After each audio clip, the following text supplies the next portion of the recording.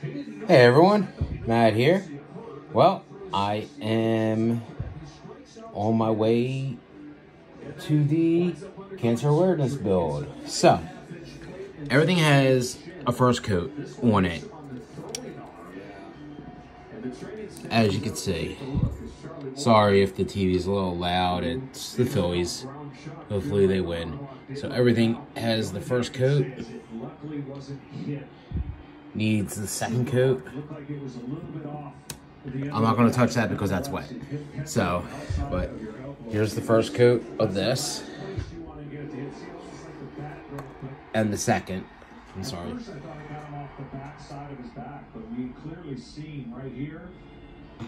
Uh, once everything dries, I may uh, wet sand some of this and put another coat on because it does like kind of like to glob up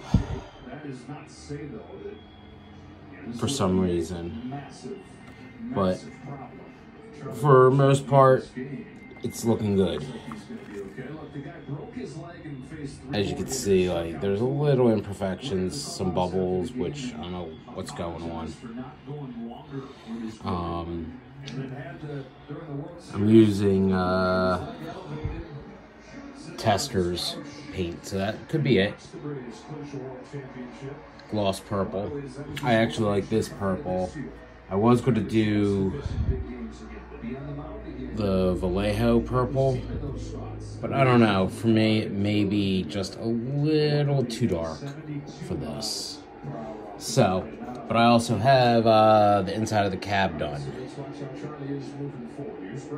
I have uh, gray on there, black, and uh, brown to bring out uh, the wood. Uh, I figure one coat would look nice because it does look a little weathered. As you can see, some like dark spots, white spots. Know. So, I don't know if I'm, I don't know if I have to paint the bottom of this. I may, just in case, but, um, see what goes on. Which I probably will because I think it's just the motor underneath. So, here we have it, just a quick little uh, update on the cancer awareness build. I'm probably going to take a break, watch the Phillies, and then get back at it later. Alright guys, take care.